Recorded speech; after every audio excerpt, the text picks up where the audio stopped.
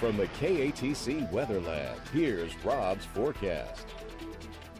Welcome back. Well, after some stormy weather and some very heavy rainfall not too far away, we're getting the good stuff now. Some lingering clouds through this evening, but we are looking at a mostly sunny and pleasant Friday and Easter weekend, and that is the great news. Let's take a look at the big picture across our part of the world. This is a 24-hour loop showing those very intense showers and storms that produced not only flooding rains, but severe weather across portions of southwest Louisiana, western Louisiana, back across eastern Texas, and then over towards St. Mary Parish. We'll talk a little bit more about that in just a bit, but it was rough and tumble there for a while, and some very heavy rainfall manifesting, especially over uh, Beauregard Parish. But this is the last 12 hours of radar, and you can see how the storms pretty much moved across most of Acadiana on, on a disorganized fashion.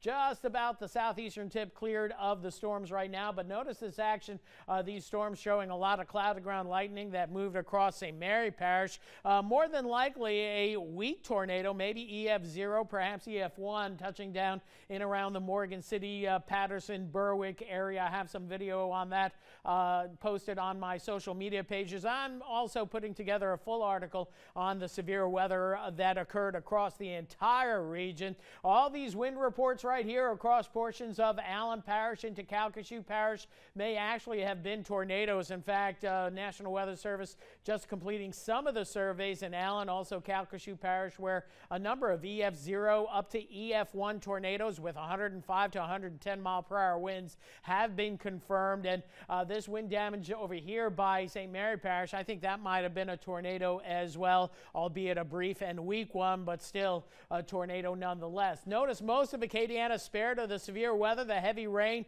was confined to where we thought it would be, somewhere from the central part of the state back through southwest Louisiana. And look at some of these rainfall totals, nearly a foot of rain in the extreme southwestern part of Beauregard Parish to 8 to 10 inches, quite common across uh, much of the center part of the parish. And elsewhere across Acadiana, not seeing much, officially 8 tenths of an inch of rain or 0.81 inches out at the airport. Few spots seeing a couple of inches down towards Cypremort, 0.2 and a half or so, and then uh, up toward Ville Platte and uh, points to the north and west seeing a couple of inches of rain, but that was certainly much more tolerable than 10 to 11 inches of rain that we saw just to the west of us. So in the near term, we're looking good. Lots of sunshine for your Friday as we examine Futurecast. Saturday looks just as nice as well. This frontal boundary runs out of gas, so we're expecting a very nice Easter Sunday as well with fair to partly cloudy skies. Temperatures gradually warming up as we go deeper into the weekend.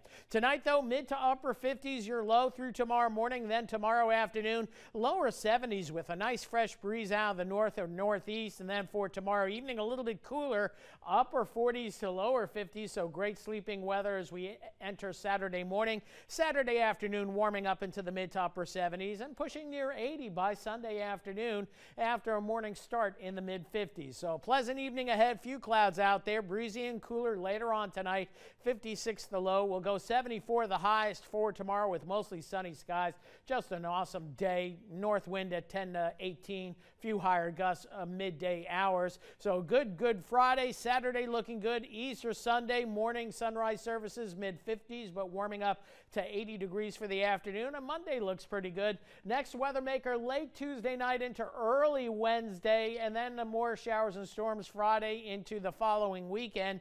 And the European model uh, indicating a pretty strong cold front that may give us a shot at the lower 40s, perhaps even upper 30s as we go into the uh, first full weekend of April, even though uh, Sunday is April 1st. So some mm -hmm. good looking weather ahead, and that's the good news. And most of us dodging all that heavy rain and severe mm -hmm. weather right, as well. Yeah. All right. Thanks, Rob.